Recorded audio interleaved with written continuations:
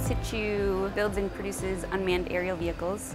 Um, we do the manufacturing of the aircraft as well as ground control stations, uh, software that flies the planes and that controls the payloads that we put on the aircraft.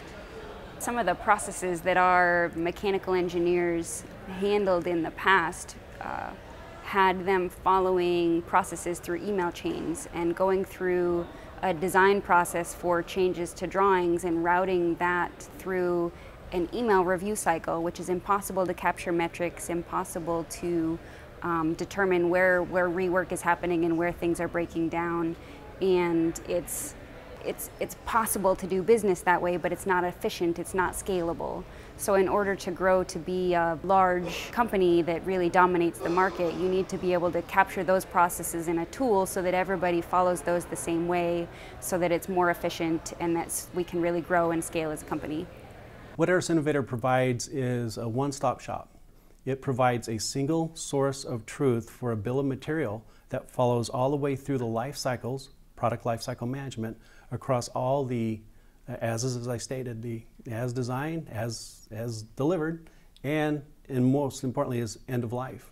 Every device has that, and you have that capability within one tool in Aras Innovator. With any application, you want to stay current with the technology. So the vendor um, makes upgrades because they've either enhanced their product or they've fixed defects.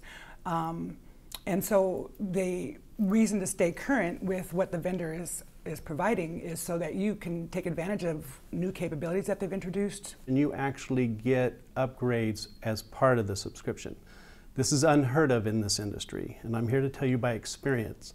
It's very costly to do an upgrade with other vendors? Aras definitely has the, the burden of the work in an upgrade.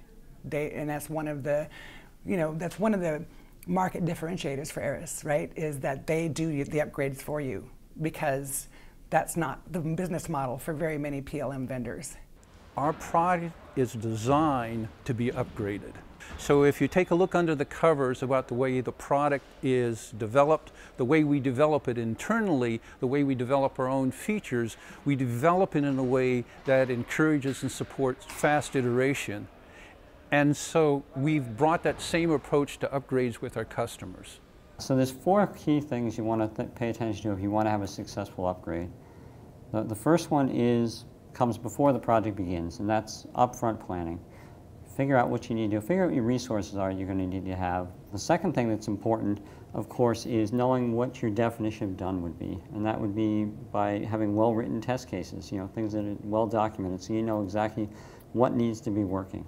The third thing, and you take advantage of number two with the third one, is is let us run the, uh, the test cases before you see anything. Essentially, this is the pretest that, that Aras does. The last one, of course, happens before the project and during the project, and that's regular communication, emails or talking, but make sure we don't go more than a few days without talking um, about the status of where we are. Strong project management was, was really important to the success of this upgrade. Um, we had a lot of challenges that we anticipated at the start of the project. During the upgrade process, we had planned for three to four separate deployments on our production environment while the Aras team was configuring our upgrade.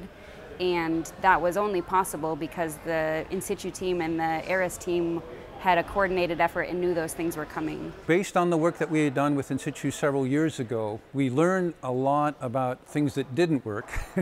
and so we focused on how do we reduce the overall effort on the Insitu team, how do we bring more of this in on our side of things so that we can eliminate extra work, extra steps, extra passing information back and forth, and mostly reduce the load on the Insitu team for the testing and the final qualification for deployment. We now take a set of tests that the customer will provide and we run them one time before we deliver anything to the customer. The hope is that when we deliver something, I'm not going to find everything because I don't know everything that the customer does and, and no test plan is 100% complete. But, but we get all the big issues, and, and, hopefully things is relatively stable. So we're concentrating on our testing going forward from there on things that are really unique to the customer, that you need a knowledge of how, how a customer uses it.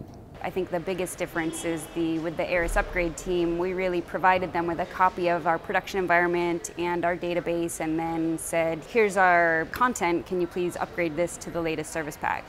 And then to have that come back from the Aras team for us to test, but to not have to be involved in actually performing the upgrade was the biggest difference.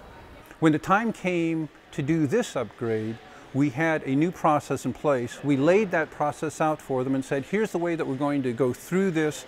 Here are the steps that we're going to take and laid that out in advance so the Insitu team could see that, know what the steps were that we were going to go through, and then they could plan, assign their resources, and set up their test facilities because there's a lot of this work that we can do, but before it's finally done, we have to pass it off to the Insitu team, and they need to do the testing on our side to make sure that things are ready. It's really been great working with Insitu. We've learned a lot from them, and, and, and you see what we've learned in some of the recommendations we make, and the benefits are seen by the customers who follow some of those key points we've talked about. They can save as much as like 25 or 35 percent, maybe even more, in terms of time spent on doing an upgrade. And even as you know, the customers, their systems get larger, the number of users they have get greater, we're still going to be able, we're going to be able to scale with them, and we're going to be able to continue to keep these the kind of quick projects that everybody would like to see.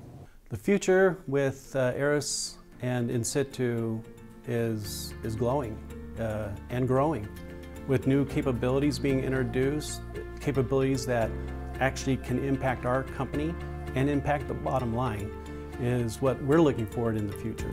Our roadmap includes new capabilities. Aras has purchased a couple of companies' capabilities in MRO and simulation that are needed here at Insitu. So I see the future as being very bright for both.